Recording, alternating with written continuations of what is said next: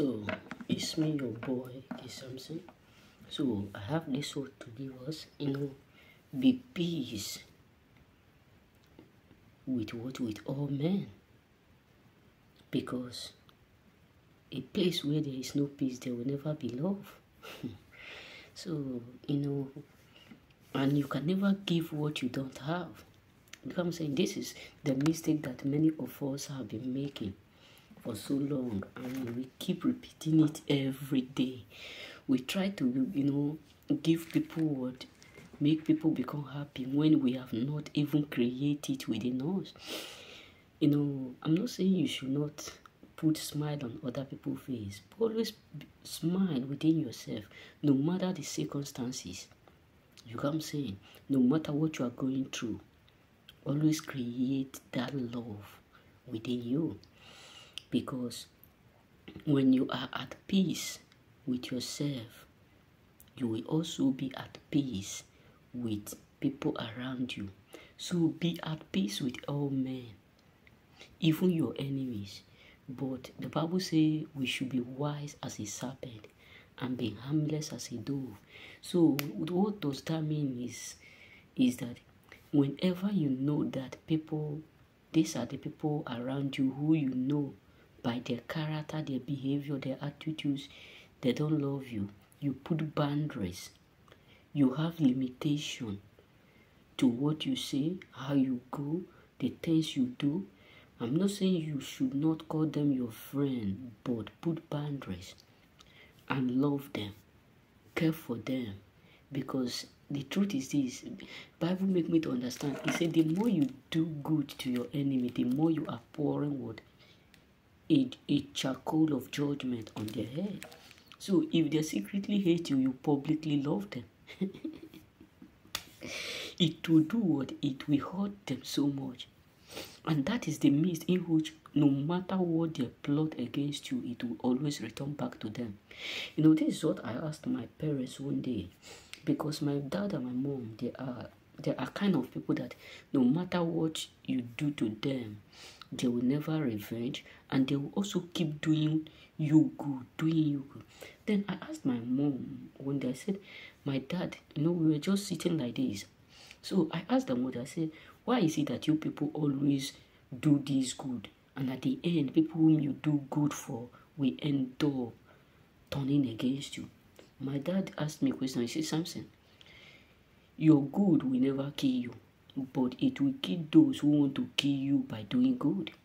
This is the the what the, the divine what the divine reason why many people are protected on earth today. And these are the reason why many people who do evil always used their head to carry it.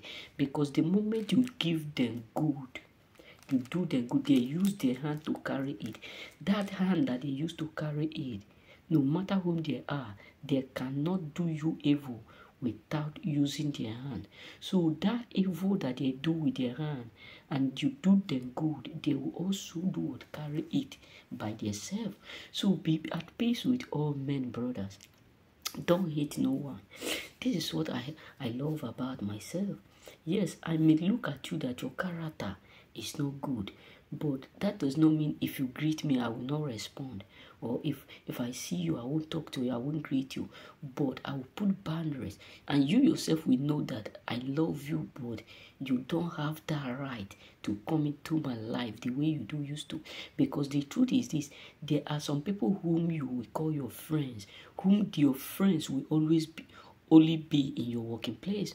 There are some people whom you will select that your friends will only do what only be in the street. You can see them in the street and greet them as a friend. There are some people whom you call your friend, they are allowed to come into your home, but they are not allowed to step into your what compound. That you can see them only in the gate. There are some people who are allowed to come into your home, but they are not allowed to enter inside. There are some people who are allowed to enter inside, but they are not allowed to do or to move around. So the moment you put boundaries to people, you are protected no matter what. So love all men because hating will block your blessing. Believe me, whether you are a choosing, you are not a choosing, you are a prayer warrior, you are a pastor, you are not this, you are not that. The moment you have these categories of things, these three categories, envy, jealous, and malice, the moment you have it, it will do what? It will block your blessing no matter how prayer or the type of prayer you are praying. It will block your blessing. And if you are successful, you are successful with money, and you have these three categories of things, you will not have joy. Yes, believe me. I'm just telling you the polite truth. I will never lie to you. That is why you see a lot of envy rich men, but many of them have no peace around them because you can never have it all. You get what I'm saying? So the truth, uh, the truth is this. The truth is this. Don't let these three things destroy everything about you. Wipe it from your from your heart.